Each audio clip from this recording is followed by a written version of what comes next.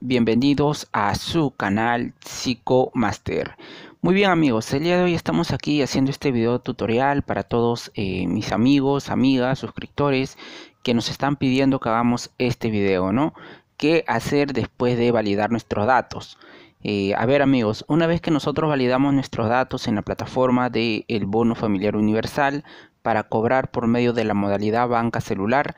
Ahora, ¿qué debemos hacer? ¿Cuál es el otro paso que debemos seguir?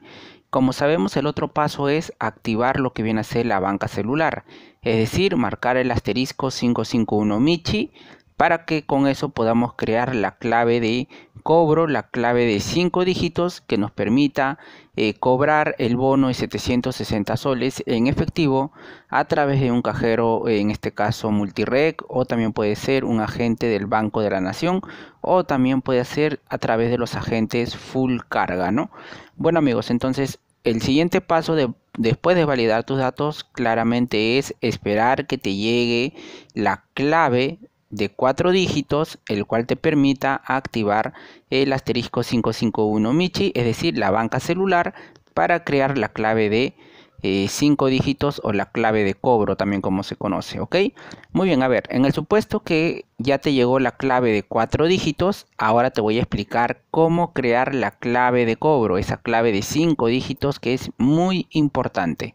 Muy bien, entonces, una vez que ya te llegó la clave de 4 dígitos, automáticamente agarras tu teléfono celular y marcas el asterisco 551 Michi y ingresas el PIN de cuatro dígitos que el banco te envió a tu teléfono celular que has afiliado a la banca celular, ¿ok?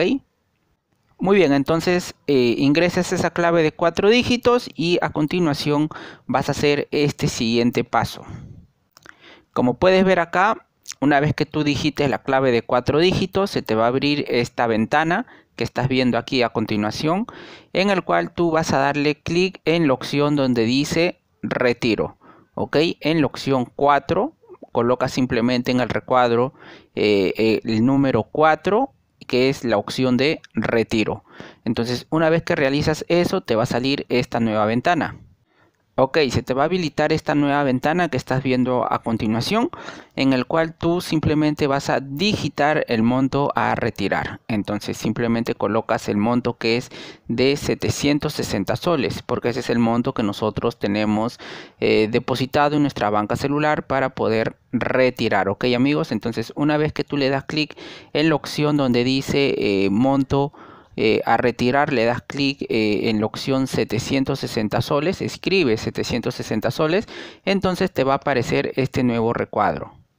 Muy bien, te va a aparecer este nuevo otro recuadro que estás viendo a continuación, en el cual simplemente ahora tú lo que vas a hacer es darle clic en la opción donde dice eh, marcar la opción 1 de confirmar, ok, simplemente entonces una vez que digitamos 760 soles, el monto a retirar, le damos clic en la opción donde dice 1, que es eh, la opción de confirmar, ok, a continuación entonces te va a salir este otro recuadro muy bien, a ver, te va, te va, a salir este otro recuadro que estás viendo a continuación, en el cual el Banco de la Nación te enviará un mensaje de texto nuevo donde te mencionará eh, lo siguiente, ¿no?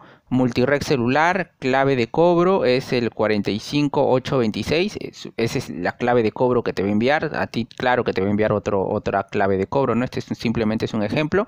Te va a decir clave de cobro, eh, una clave de 5 dígitos te va a enviar, el monto por retirar es de 760 soles, te va a salir la fecha de vencimiento que eh, por lo general la clave de cobro solo dura 48 horas. A ver, acá te explico.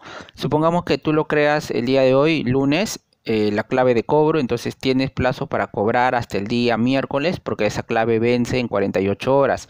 Si hasta el día miércoles no cobras eh, el subsidio de 760 soles a través de un cajero multireg o agente multireg del Banco de la Nación, no te preocupes, esa clave lo puedes volver a generar nuevamente sin ningún problema y también tiene la misma duración de 48 horas, ¿ok? Entonces, una vez que tú eh, ya colocas el monto a retirar, le das clic en confirmar, simplemente te va a llegar un mensaje de texto en el cual simplemente se te menciona cuál es tu clave de cobro ¿no? Y se te va a mencionar el monto a retirar, 760 soles, la fecha de vencimiento de esa clave. Eh, bueno, finalmente entonces te va a salir este, bueno, simplemente te va a salir este otro recuadro, ¿no? Que, en el cual te menciona que la clave de cobro tiene una duración de 48 horas, ¿no?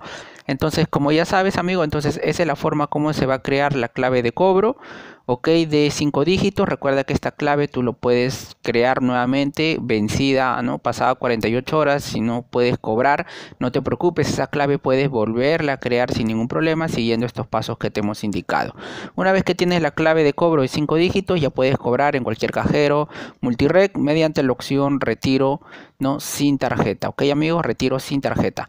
Bueno cuídense bastante estaré informando más sobre este tema en los próximos videos